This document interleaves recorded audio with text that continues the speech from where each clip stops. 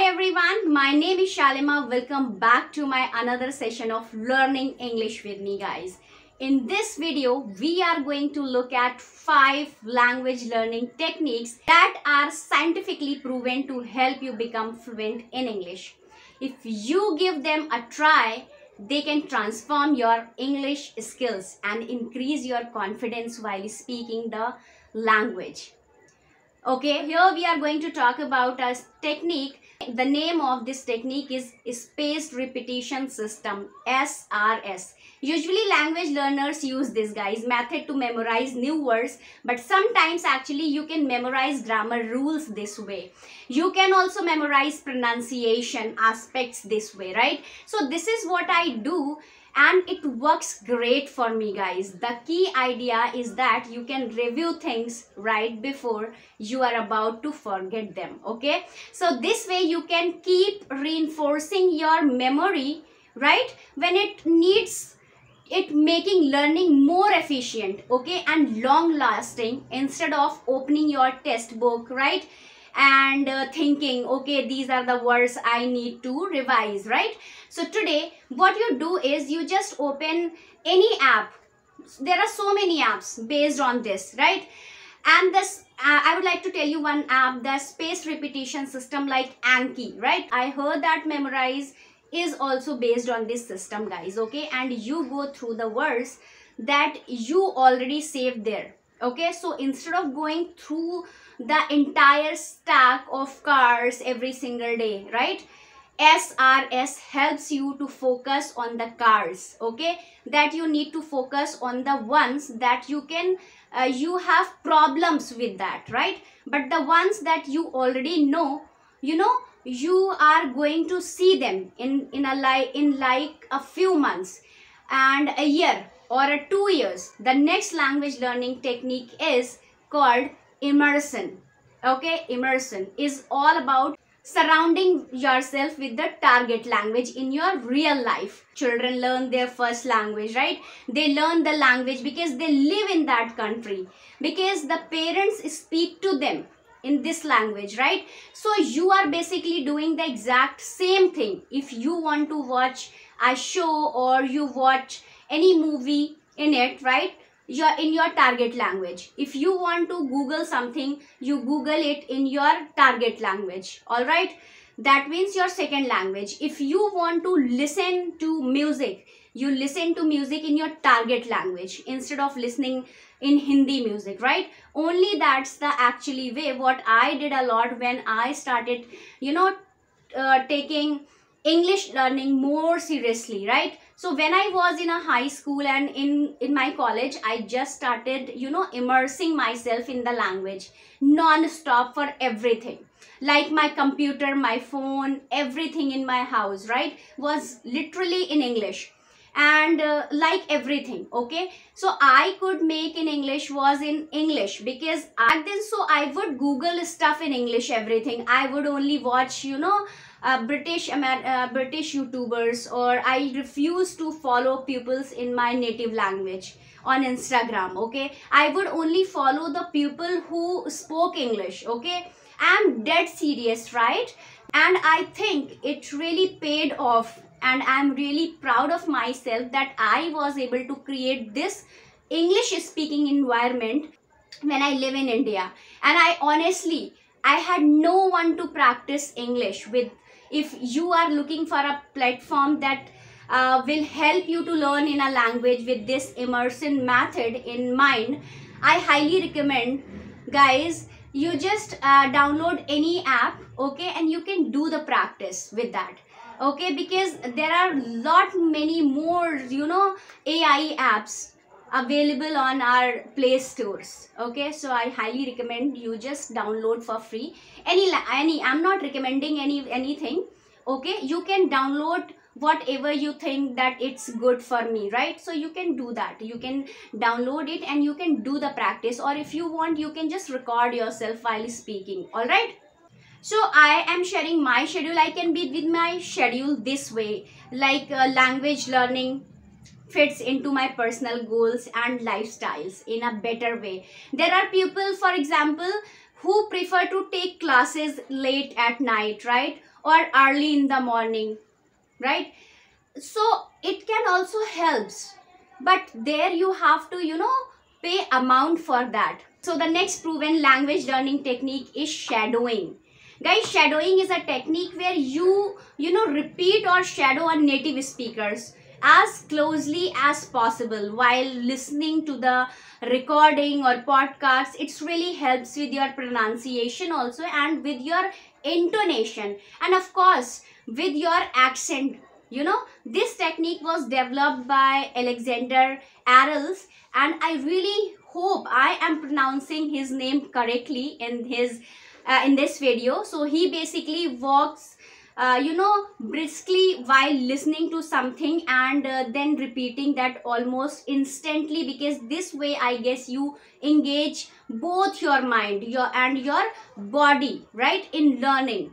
So if you don't understand everything the native speakers is saying of course you can use translators because it's important to understand what you are actually shadowing right? The idea behind walking while you are shadowing is that you challenge your brain to process and automate new linguistic input okay? Which eventually improves your uh, you know fluency through repetition and the multitasking right? The next amazing language learning technique is task based language learning or tblt it uh, you know focuses on introducing yourself to authenticity a language by doing certain tasks and it can really help you to practically because you are doing real life things instead of you know just focusing on grammar or vocabulary. Let's say you are planning a trip right?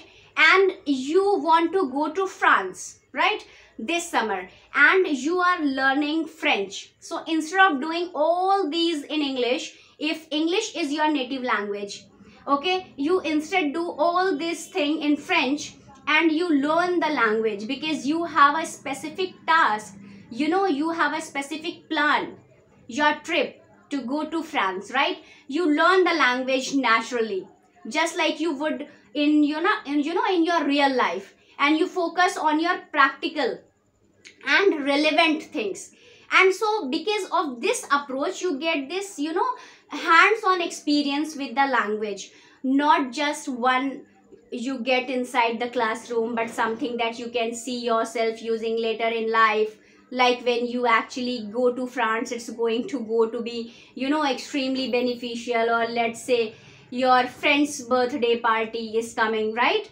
So and you are thinking what can i do? Or and maybe you decide to make a chocolate cake because you really like baking. So instead of you know doing that in your native language okay you can do it in english.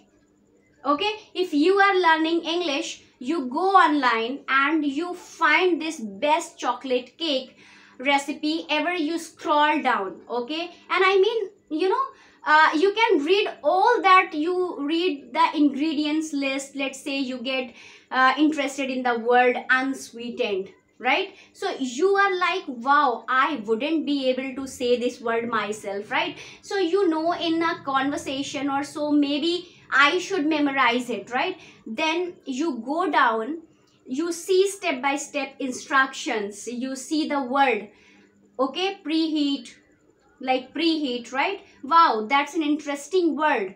You see the word oven. You make sure you know how to pronounce it correctly.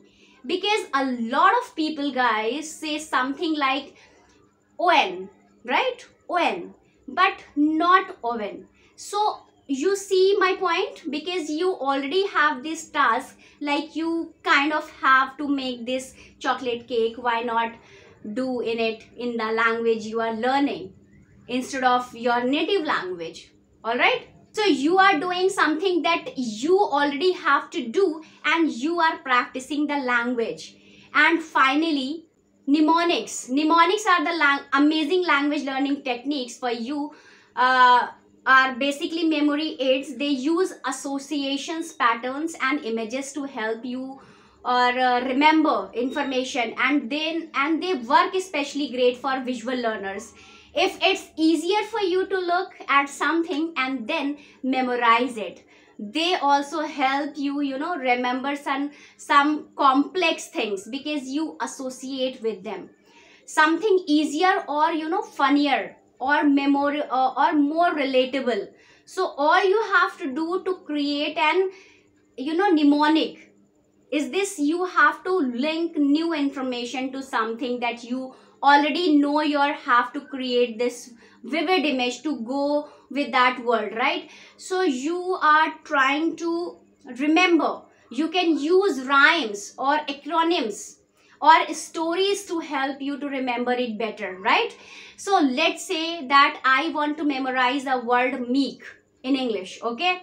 If you are just like um Shalima, my imagination is not great. You can use chat GPT. So I create this prompt, create mnemonic to memorize the word. Okay. Meek in English. And here is the example. We have my elephant eats kale meek. Right. You can visualize a gentle, mild, mannered elephant quietly eating kale. Right. Which aligns with the meaning of meek as someone who is you know gentle humble or submissive i mean i love this mnemonics honestly guys my elephant eats kale meek you can use this picture too i added this picture so that i just you know everything falls together and how everything every single time i think that of that word meek i think of these you know two cute elephant eating kale. I mean probably it's not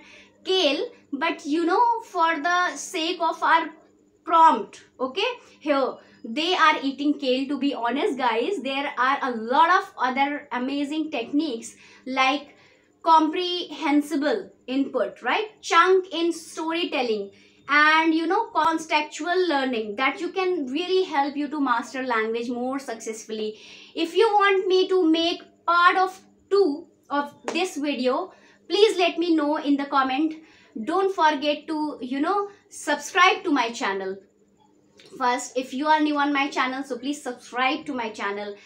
And you follow my journey. If you like this video don't forget to give thumbs up and subscribe to my youtube channel if you are thinking about what to watch next I highly recommend checking out this video where I share what method I use to memorize new words vocabulary in, in you know, in a foreign language. So click right here, okay, and keep on watching guys. So that's it for today's video. Thanks for watching. Bye-bye. Take care.